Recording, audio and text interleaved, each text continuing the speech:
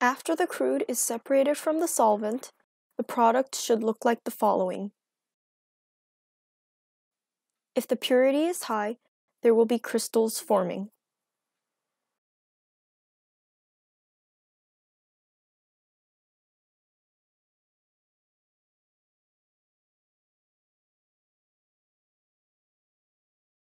Set up for column chromatography as shown. Make sure that there are no clogs in the stopcock by draining nonpolar hexane through the column.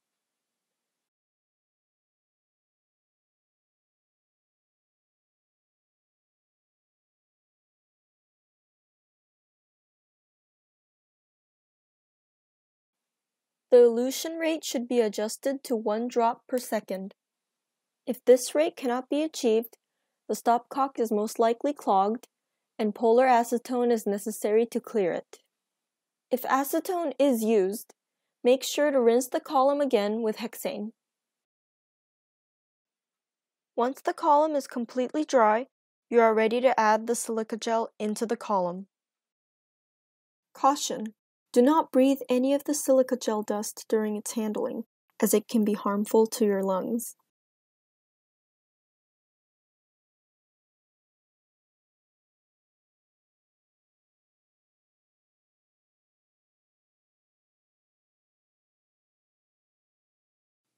To make the slurry, first pour the silica from the column into a beaker and have a separate beaker with hexane ready. Obtain a third beaker to mix the hexane and the adsorbent. Always add the adsorbent into the solvent, never vice versa, or the solvated adsorbent can cause the solvent to heat up and boil.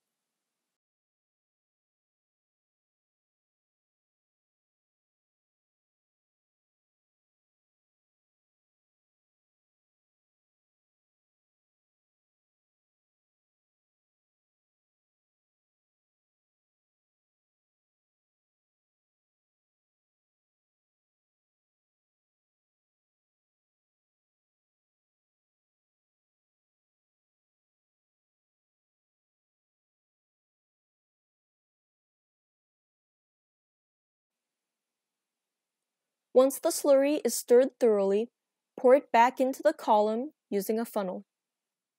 You may also add a layer of sand into the column before adding the slurry.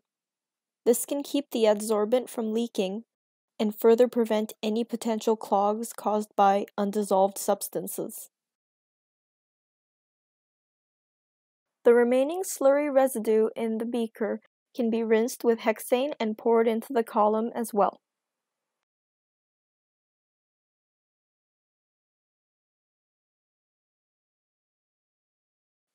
Open the stopcock to observe the elution rate again.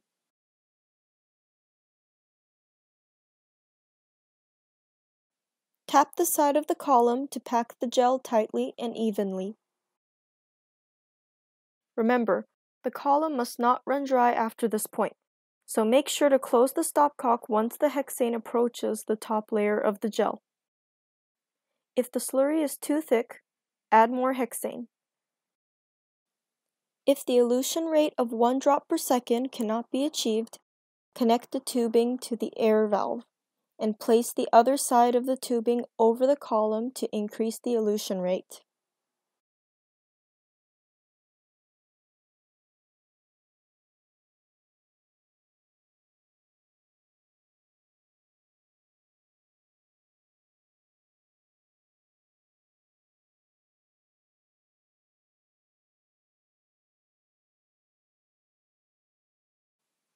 Use hexane to rinse the sand and gel off of the walls of the column. To avoid disrupting the even packing of the gel, add the solvent from the side of the wall with a pipette. Remember to make sure that the top of the silica gel layer is completely even and horizontal. And make sure the column itself is perpendicular to the hood surface.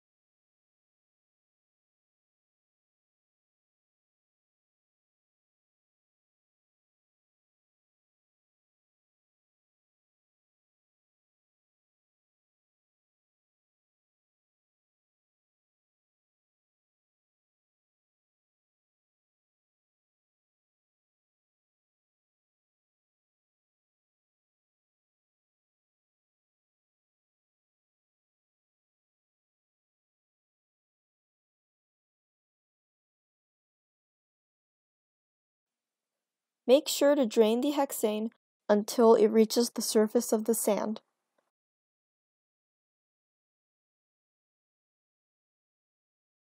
Then, add the sample into the column using a pipette.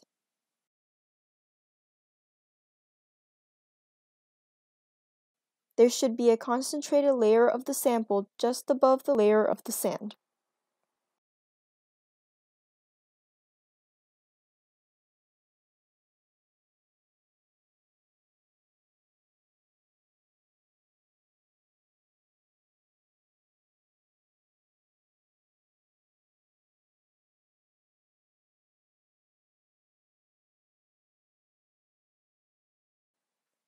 The sample will first be eluted with the least polar solvent.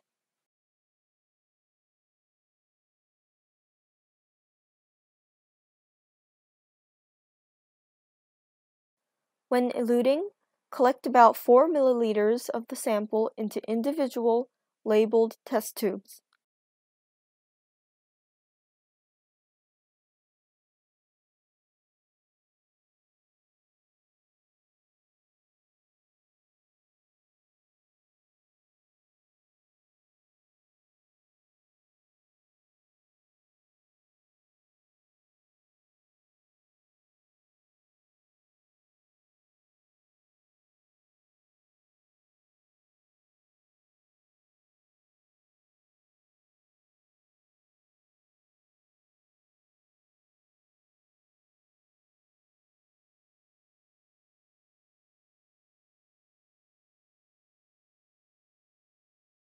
Repeat the steps until you observe a fraction that has no pure product spot in the TLC test.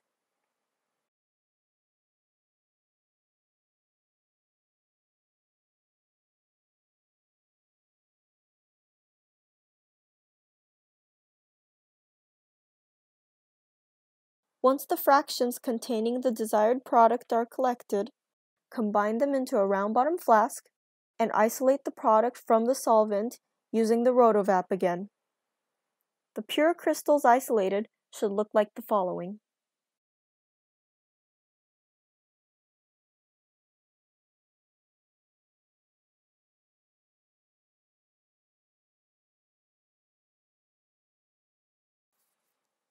After performing the TLC test on the pure product, observe and compare the RF values with the crude sample TLC plate.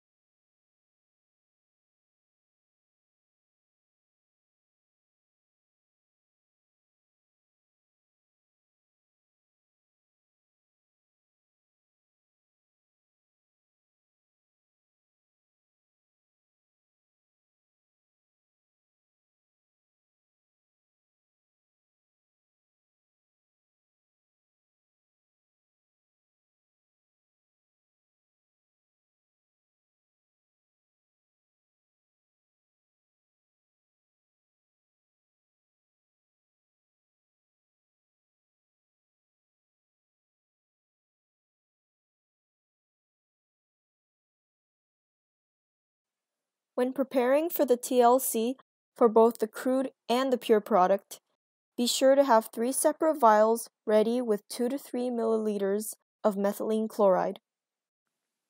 Add one drop of phenyl thioacetate into the first vial and add one drop of the assigned aldehyde into the second vial.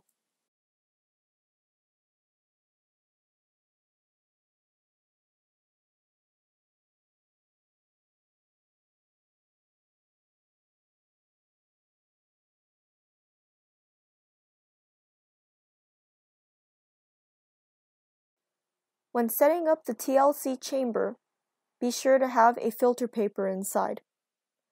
Add 10 milliliters of the eluent inside and swirl the chamber.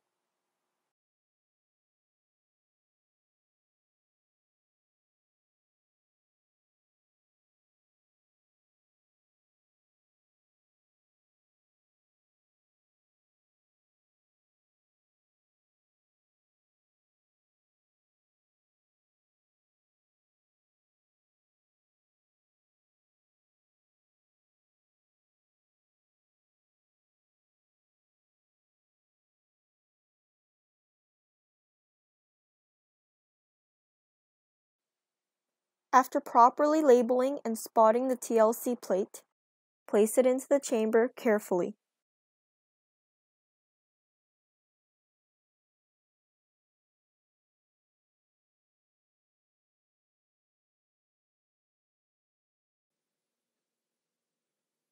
You can also place two TLC plates in the same chamber to save time. Make sure the sides that are not spotted are touching.